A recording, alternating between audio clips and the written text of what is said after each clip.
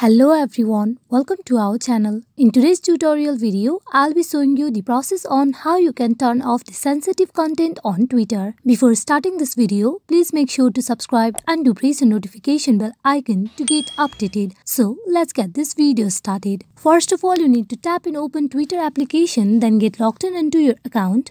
At the homepage of your Twitter account, you need to tap on the profile icon on top left corner.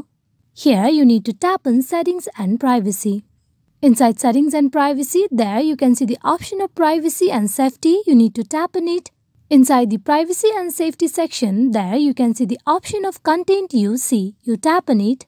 There you can see display media that may contain sensitive content. Currently, the option for the sensitive content in your Twitter account has been turned on. Now to make it off, you need to tap on the toggle to the left so that the sensitive content in your Twitter account will be turned off. Hope this video is fruitful for you all on how you can turn off the sensitive content on Twitter. Thank you.